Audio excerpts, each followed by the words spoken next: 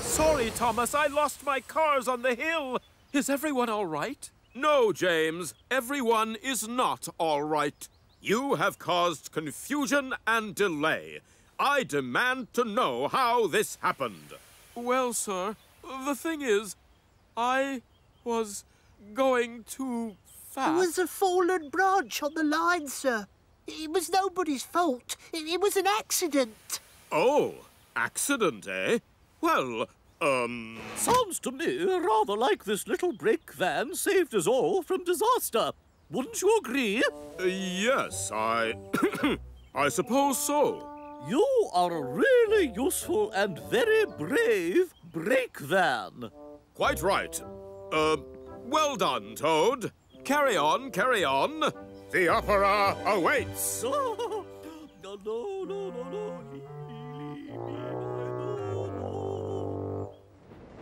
Toad was still thinking about what Dowager Hatt had said to him. He felt very proud. You can go a little faster if you like, Mr. James. Oh, no. This will do, thank you, Toad. Never too slow, never too fast. That's what I always say. Thanks for your help today, Toad. And thank you very much, sir. Call me James.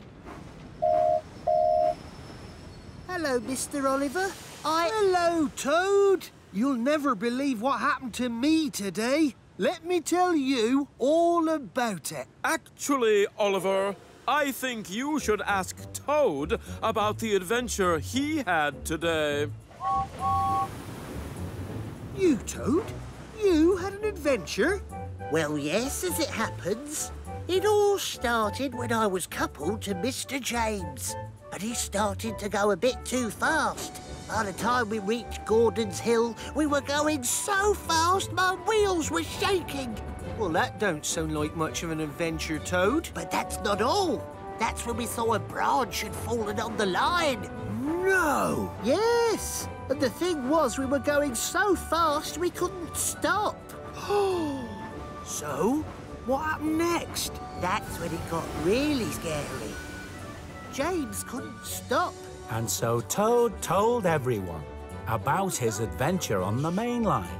So I pushed and Oliver said he could hardly believe it. But Toad said that was okay. He'd tell him the whole story again. Tomorrow.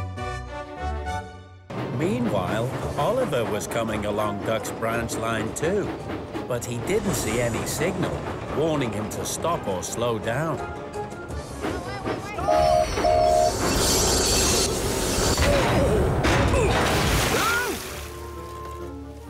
Luckily, nobody was hurt. But James was very cross. Oliver, why didn't you look where you were going? There was a yellow signal back there. I didn't see any signal. Um, please? Can I get out the water now? Rocky started to lift Duck back out of the water again. And Oliver started to back up so that his driver could put up a warning flag. But then there was more trouble.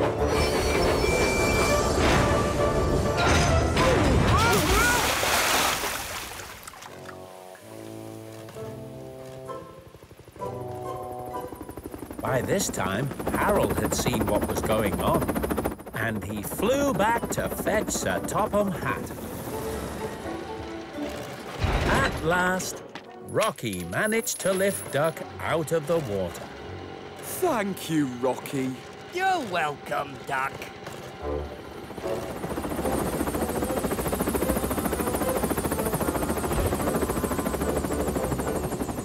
So many accidents. How could this have happened on my railway?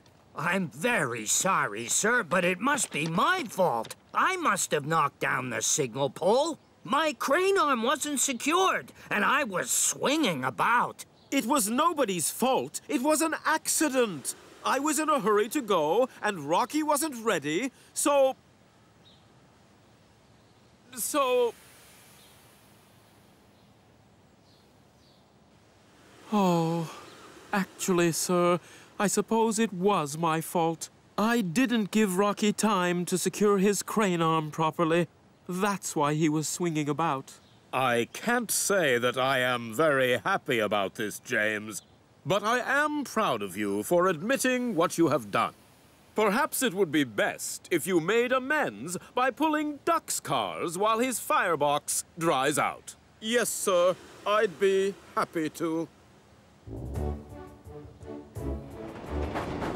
Pulling cars may not be his favorite job, and James knows that he can't always do the jobs he likes best.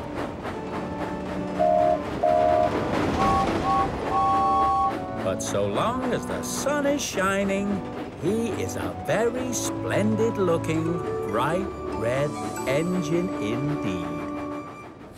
But James liked everyone to see his shiny red paint, so he slowed down. Hello, everybody. Glad to be of service. The last coach couldn't stop and bumped into the back of the other slip coaches. Luckily, nobody was hurt. But after that, the slip coaches refused to move. We won't go with James. He doesn't know how to use slip coaches. No, not at all. That was when Sir Topham Hatt arrived and found the passengers all complaining and saying what a bad railway it was. Oh, James, what have you done? These slip coaches were a terrible idea. But, sir, they just take a bit of getting used to, that's all. Maybe I could help, sir. The slip coaches were overjoyed to see their old friend Duck. Hello, Hello, Duck. Duck. Duck. Hello, Slippies. Do you mean to say you know these slip coaches, Duck? Of course. I used to pull them on the Great Western Railway, as I was telling James last night. Suddenly, Sir Topham Hatt understood. James had only pretended to know about slip coaches. Really, it was all Duck's idea. Duck, perhaps you would like to pull the slip coaches around Sodor. If that's all right with them, of course. Yay, Duck. Of course it is. Capital idea. So Duck took over pulling the slip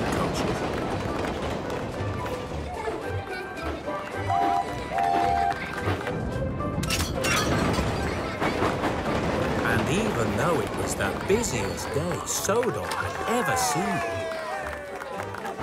thanks to Duck and the slip coaches, everyone reached their destinations on time. And all the passengers agreed it was a very good railway indeed. Evening all. Three cheers for Duck and the slip coaches. Hip, hip. Hooray! Hip, hip. Hooray! Hip, hip. Hooray! It just goes to show there really are only two ways of doing things. The wrong way or...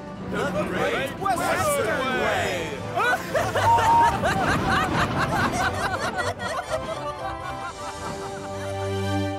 Without a back engine to push from behind, it was very hard to pull the heavy cars up the hill.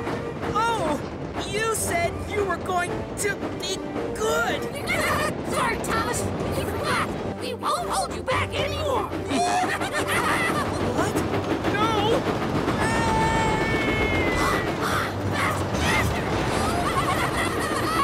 Without a back engine to hold back from behind, it was very hard to slow down.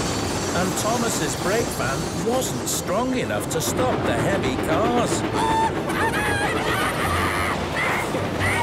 Oh no! Toby, look out! Luckily, a signalman switched him onto a siding.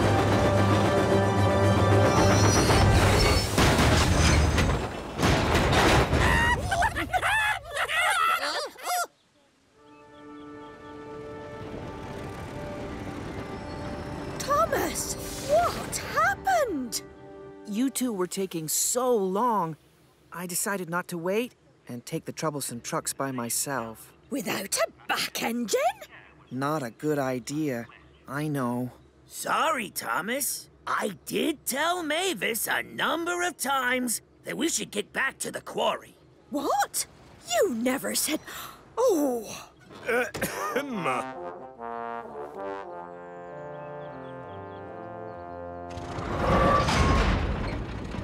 Mavis and Diesel helped to get Thomas and the troublesome trucks back on the line. I know naughty Diesel and Mavis left you all on your own, Thomas. But you should never have taken those cars without a back engine. I'm sorry, sir. I was trying to be useful. Sir Topham Hatt sent Mavis back to the quarry. To do what she does best.